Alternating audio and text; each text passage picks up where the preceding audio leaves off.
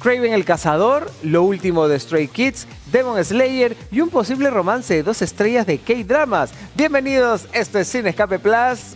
Empezamos.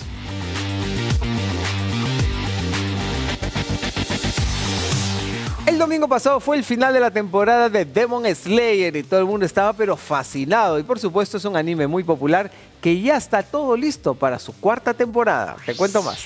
La popular serie anime Demon Slayer terminó su tercera temporada con un espectacular episodio final de 50 minutos, el número 11, en el que además de la conclusión del arco de la Villa de los Herreros, también confirmó lo que todos los fanáticos esperaban, una nueva temporada.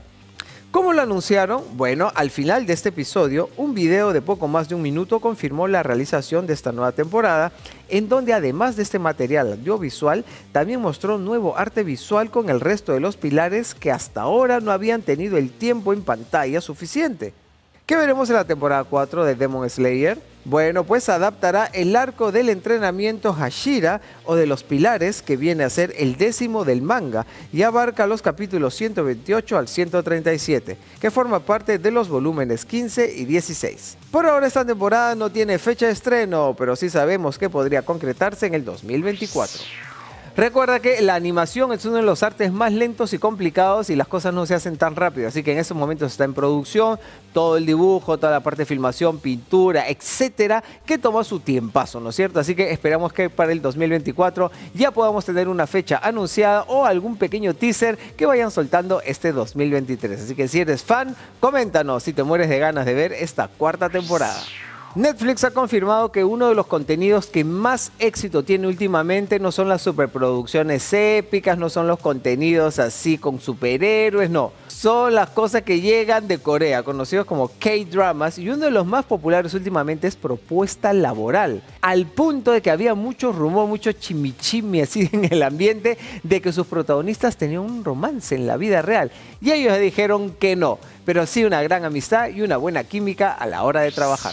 Si eres fanático de los K-Dramas, de hecho tienes que haber visto Propuesta Laboral, la popular serie romántica protagonizada por Ah Hyo y Kim Si-yeon, en donde dejaron claro la gran química que hay entre ellos y a quienes se les ha visto juntos en los últimos meses, por lo que se especulaba si es que había un romance real. A pesar de que las filmaciones de este drama finalizaron en abril del año pasado, esta parejita ha seguido dando demostraciones de su amistad y afecto.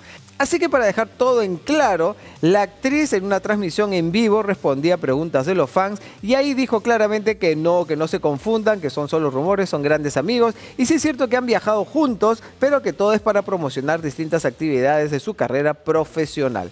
Así que bueno, no hay que seguir especulando cosas y si ellos deciden confirmar un romance, pues muy chévere. Pero por ahora hay que hacerles caso y dicen que todo es una gran amistad. ¿Qué les parece?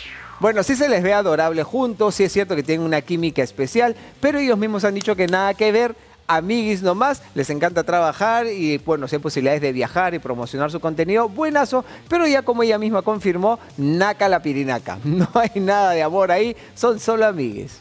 Mm, ¿Sí, no? En el mundo de los derechos de autor es bastante complicado cuando los personajes populares pertenecen a una sola casa, en este caso Marvel, por ejemplo, que todo se complicó cuando fue adquirida por Disney. ¿Por qué? Porque antes de que Disney comprara Marvel, por ejemplo, las primeras películas de Capitán América y Thor pertenecían a los estudios Paramount. Las películas del increíble Hulk estaban con Universal. Fox tenía a los X-Men y Sony tenía al hombre araña. Bueno, cuando Mickey Mouse dijo yo me quedo con todo, los estudios han tratado de ir toreando estos derechos de autor al punto de que Sony muy inteligentemente al saber que no podía explotar grandes personajes de Marvel, se fue por los villanos. Es ahí que vimos, por ejemplo, las películas de Venom y también las películas de Morbius y ahora tenemos a Craven el Cazador y han presentado un avance que es recontrachorado y bastante violento. Nos tomó a todos por sorpresa que Sony Pictures lanzó el primer avance de Craven el Cazador, la nueva película del universo de Spider-Man que está violentísimo. Protagonizado por Aaron Taylor Johnson, popular por su papel de Kick-Ass, esta cinta introduce a uno de los villanos más importantes de Spider-Man en el mundo de los cómics. Es uno de los avances más violentos y agresivos que hemos visto y que nunca habíamos pensado que podría llevarse al mundo del cine. Incluso se podría decir que esta película no sería para menores de edad. En esta película veremos a Sergei Kravinov, que tiene muy poco que ver con el personaje original en el que está basado, porque aquí parece que ha recibido algún tipo de mutación a través de la sangre de un león, y en vez de ser un cazador de animales, será un cazador de humanos. Así que parece que será un animalista y defensor de la ecología, pero brutal. Y veremos cómo se introduce en el mundo de Spider-Man y adquiere sus superpoderes.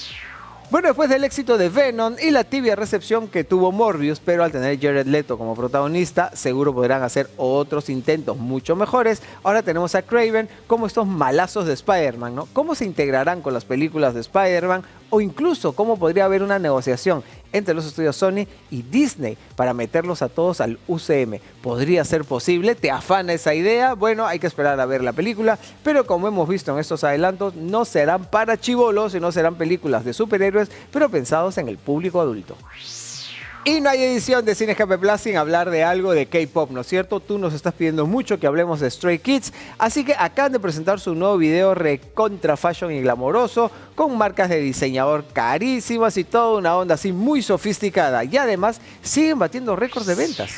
Así es, esta semana estrenaron el video musical Get Lit una de las canciones del lado B de su nuevo álbum Five Star, el cual recientemente rompió el récord de ventas más altas en las primeras semanas de existencia. Este video vemos a los integrantes que se convierten en auténticos modelos con mucho glamour y exhibiéndose como si estuvieran en una pasarela, convirtiéndose rápidamente en tendencia tanto en Twitter como en YouTube.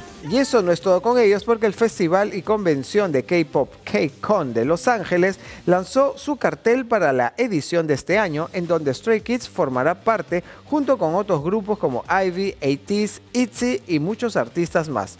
Este evento se desarrollará en Los Ángeles, California, del 18 al 20 de agosto de este año. ¿Y cuándo se presentarán ellos? Bueno, pues estarán cerrando la fiesta del K-pop el domingo 20 de agosto y van a compartir escenario con otros grupos como G.I.D., ITZY, Lapilus, The Boys y muchos más. Así es, les está yendo súper bien a los chicos de Stray Kids y ahora que ha empezado la quinta generación, la competencia va a estar súper fuerte porque han entrado nuevos grupos. Sin embargo, se mantienen en el top estrellas como Stray Kids, los chicos de TXT, NCT Dream, que ya vienen este, así falta poquito para su presentación en Lima. Así que si eres K-Popper, compártele este contenido a todos tus amigos para que sigan creciendo las vistas y podamos hablar de lo que tanto te gusta. Esto fue nuestro Cine Escape Plus. Por favor, compártelo si es que te encantan este tipo de noticias. Y semana a semana siempre las traemos para ti. Sigue todas las plataformas de Cine Escape. Y te espero el sábado a las 11 en América, nuestra versión clásica en la tele, con más contenido que seguro te va a gustar. Nos vemos ahí. Chao.